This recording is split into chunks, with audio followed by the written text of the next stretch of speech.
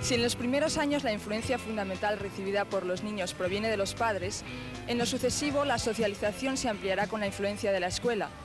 Para muchos de estas niñas y de estos niños, hoy es su primer día de clase, de colegio.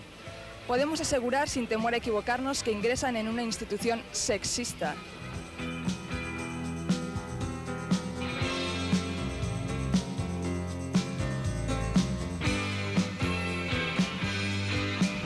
es el sexismo? Muy fácil. Es la discriminación basada en el sexo biológico, como el racismo se basa en la discriminación por el color de la piel. Y siempre que se recurre a la naturaleza o a la biología para dar una explicación a un fenómeno social, lo que se está justificando es una opresión, digamos un trato discriminatorio hacia la persona.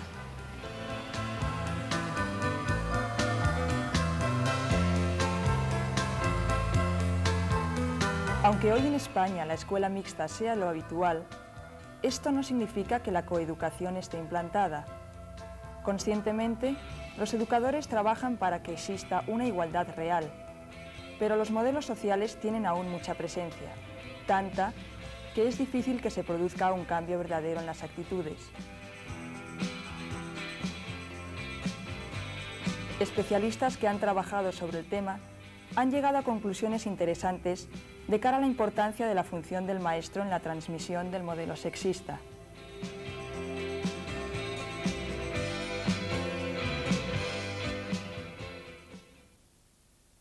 Marina Subirach es profesora de Sociología de la Universidad Autónoma de Barcelona y una de sus investigaciones se ha basado en el tema del sexismo en la escuela primaria. ¿Cómo es este trabajo? ¿En qué parámetros te has basado para hacer esta investigación? Pues mira, a mí lo que me interesaba ver es si eh, después de que ya hemos pasado a la escuela mixta y que ha habido una serie de cambios en la legislación y que ya no hay aquellas asignaturas de labores o de eh, escuela-hogar para las niñas, si había o no sexismo en la escuela. Y entonces lo que me interesaba es ver qué pasa en la relación entre maestros y, maestras y niños y niñas. Es decir, en las aulas mismas, cómo se tratan, qué, qué pasa, cómo se establece esta relación. ¿Hay discriminación o la hay? Y para ello tenía que entrar en las aulas. De modo que lo que hice fue pedir a una serie de escuelas ah, eh, que me dejaran entrar y me dejaran grabar en magnetófono y entonces básicamente lo que hemos hecho es observar, observar movimientos, observar relaciones, observar contactos y también grabar y luego analizar el lenguaje. Y esta ha sido la manera de intentar ver todo lo que ni siquiera es consciente, pero que está pasando y que eh, al ojo desnudo no, no se ve. Tienes que utilizar instrumentos de análisis sistemáticos para poder realmente ver las formas de sexismo actuales. Marina, parece ser que en la escuela mixta la niña sigue sin encontrar su protagonismo. ¿Cómo es esto? Bien, pues es porque realmente el protagonismo corresponde y se da al niño en la escuela mixta y en todo tipo de escuelas. Cuando ha habido escuelas separadas también se ha considerado más importante la escuela del niño que de la niña. ¿Por qué razones? Pues porque estamos en una sociedad que llamamos patriarcal, en el sentido de que considera que los hombres son más importantes, lo que hacen los hombres es más importante y por lo tanto mm, la niña es siempre un personaje de segunda categoría en la escuela. Es decir, aunque haga exactamente lo mismo que hace el niño, si lo hace un niño es más valorado que si lo hace una niña. ¿De qué modo afectan las actitudes sexistas de la escuela con respecto a la seguridad o la inseguridad que podamos llevar las mujeres durante el resto de nuestra vida? Yo creo que afecta muchísimo e incluso te diría que cada vez me preocupa más, porque eh, vemos, por ejemplo, que las niñas tienen una actitud mucho más abierta cuando están en el parvulario y a medida que va avanzando la EGB, cada vez las ves más cortadas.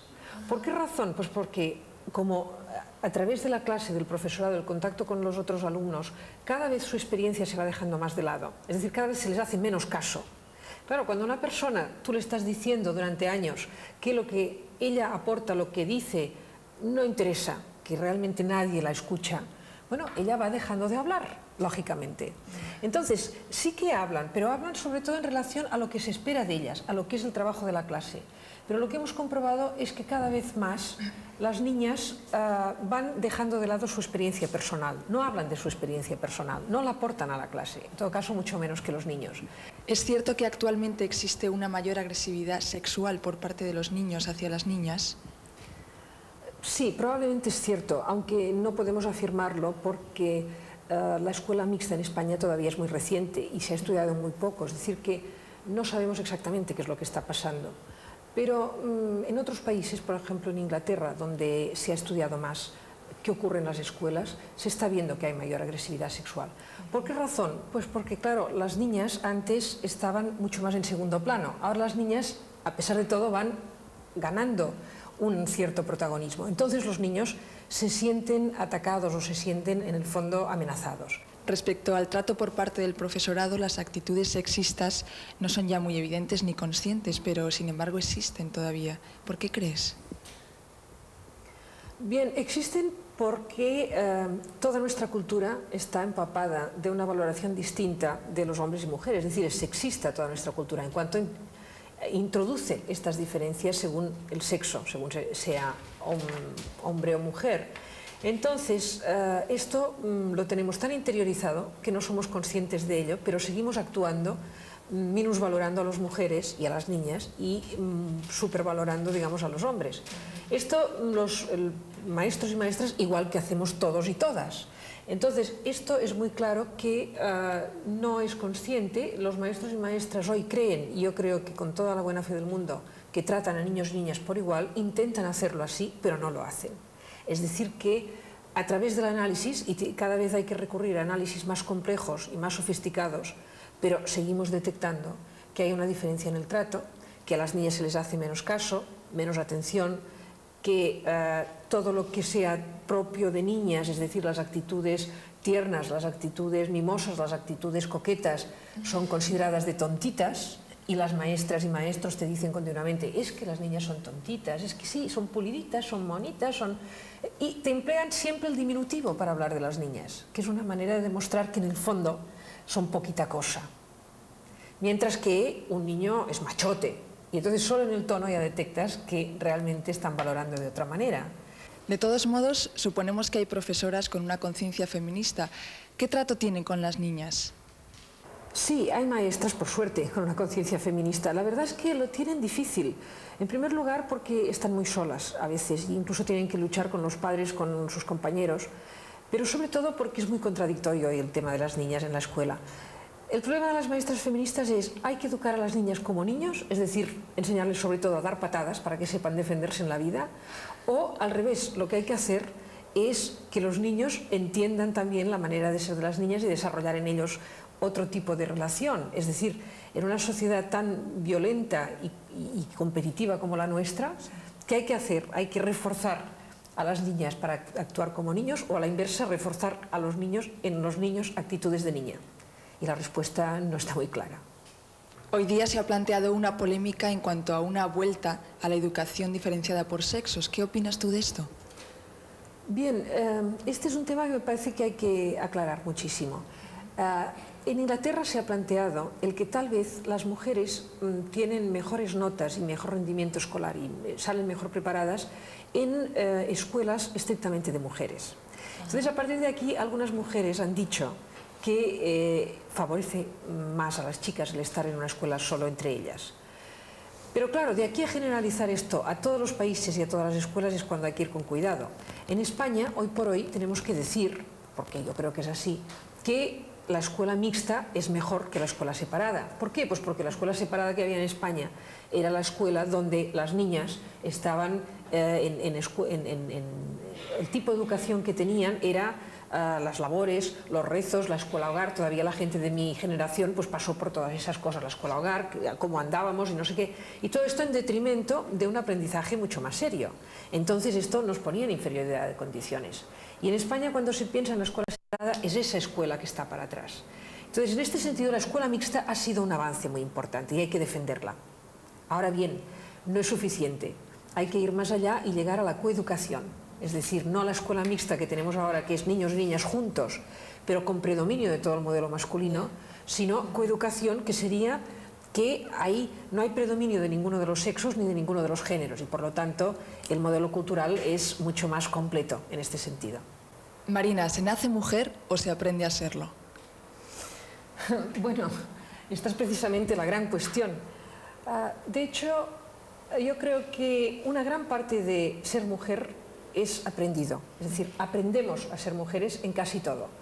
Una pequeña parte nace con nosotras. ¿Qué es lo que nace? lo que es propiamente el sexo, es decir, la capacidad sexual de tener hijos y de realizar un cierto papel en la relación sexual. Pero luego todo lo demás lo aprendemos. Por ejemplo, incluso lo que se ha dicho que es típico de la diferencia entre hombres y mujeres, como pueda ser, los hombres tienen más fuerza. Bien, hoy se está viendo que lo que ocurre es que las mujeres han estado mucho peor alimentadas durante muchos siglos y se está viendo que probablemente la mayor debilidad física de las mujeres no sea congénita, no sea debida, digamos, a una diferencia biológica, sino a una acumulación de malnutriciones. Entonces, claro, esto nos demuestra que en realidad se aprende, casi todo se aprende, lo que pasa que a veces se aprende a través de generaciones y generaciones, no quiere decir que todo lo aprendamos casi, cada una de nosotras. Por lo tanto, yo creo que tenemos que en esto mm, tener confianza, es decir, se puede ser distinta. Las niñas de hoy pueden ser distintas de cómo fuimos nosotras o de cómo fueron nuestras abuelas y pueden ser mejores, siempre y cuando se pongan las condiciones para que lo sean. Pueden ser niñas que sean a la vez, es decir, que hayan recogido todo lo que ha sido patrimonio de las mujeres en la cultura y que para mí es riquísimo y que tenemos que conocerlo más y valorarlo más. Y al mismo tiempo creo que pueden ser seres fuertes, seres independientes, seres capaces de valerse por sí mismas y de eh, poder olvidar eh, todos los, miedos, las angustias, las sujeciones a las que las mujeres han estado sometidas durante tantos años. Los niños van por la tierra y las niñas por el aire. Para conseguir un modelo progresista de coeducación es fundamental el deporte y la educación física en general. A estas edades, los dos sexos poseen las mismas capacidades y solo podríamos hablar de diferencias en el ámbito de la alta competición. El mayor o menor desarrollo físico no es una cuestión de sexos, sino de entrenamiento. Y la práctica continua del deporte influye decisivamente en la buena relación con el propio cuerpo, así como en un talante de seguridad ante la vida, actitudes que la escuela actual debe potenciar preferentemente entre las niñas, para compensar una desigualdad histórica.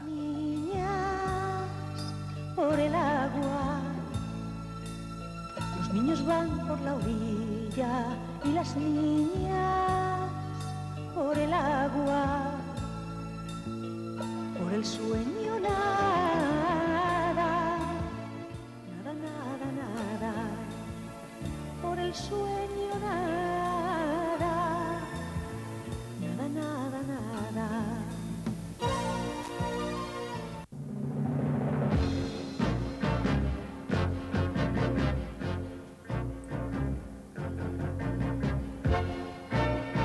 Cuando el cuerpo es fuerte y ágil, la imaginación despierta y se tiene la edad justa para jugar a la aventura, ellos sueñan con vaqueros y ellas con princesas.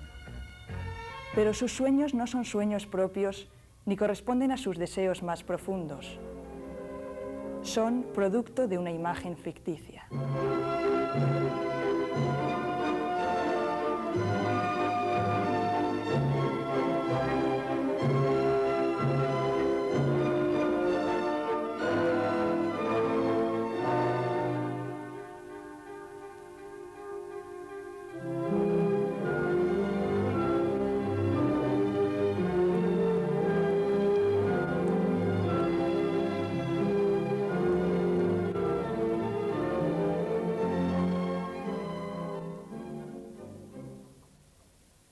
Una sociedad que apuesta por una auténtica modernidad no puede confiar su progreso solo a la técnica. Mientras discriminaciones tan graves como el sexismo sigan existiendo, no seremos más que los de siempre disfrazados de modernos.